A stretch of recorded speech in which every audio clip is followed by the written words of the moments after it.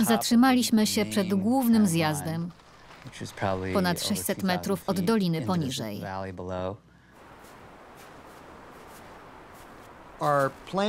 Zamierzaliśmy zmniejszyć ryzyko, przecinając zbocze. Zjeżdżamy w poprzek. Śnieg powoli się zsuwa, coraz bardziej.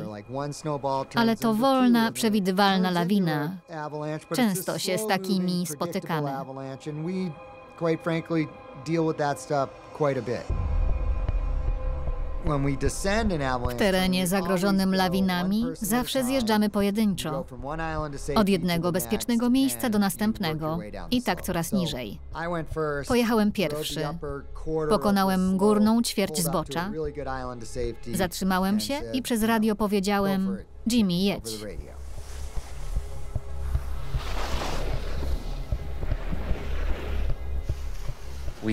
Zaczęliśmy zjeżdżać, spychając mokry śnieg przed nami.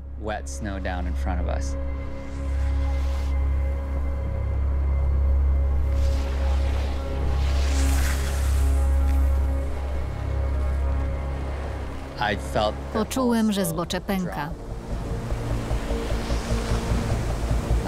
Wyglądało jak pajęczyna.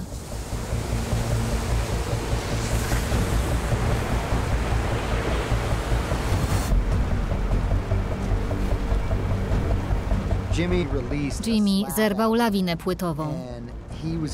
Jechał w moją stronę, ale nie mógł się wydostać. Krzyczałem, żeby walczył.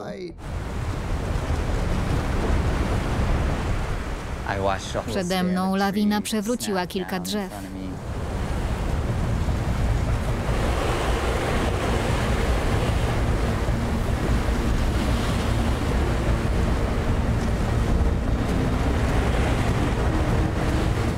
Myślałem, że tam zginę.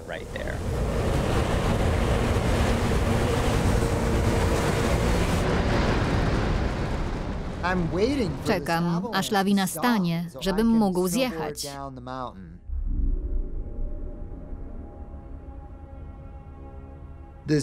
Nigdy nie widziałem tak wielkiej. To przypominało strefę walk.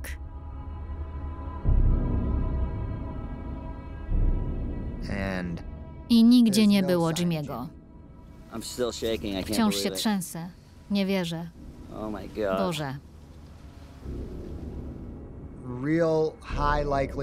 Bałem się, że jest gdzieś pod śniegiem, martwy lub poważnie ranny. Więc krzyknąłem. Jimmy. Zjeżdżam, znajduję namiar, jestem coraz bliżej.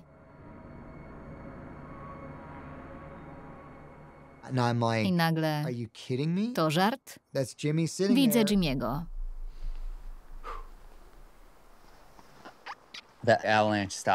Lawina stanęła. Usiadłem na chwilę, starając się zrozumieć, co się właśnie stało. Nie widziałem, że zjeżdża.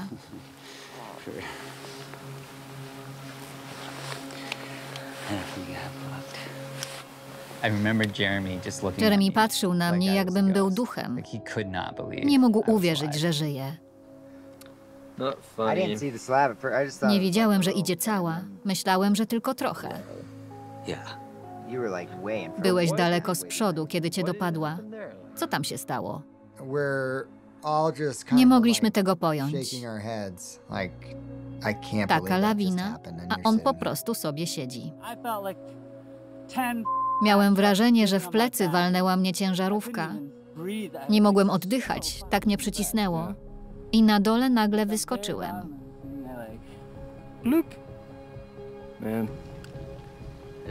Właśnie widziałem cud. Niewielu ludzi przetrwałoby taką lawinę. Chyba Bóg wyciągnął go ze śniegu, dając znać, że to jeszcze nie pora.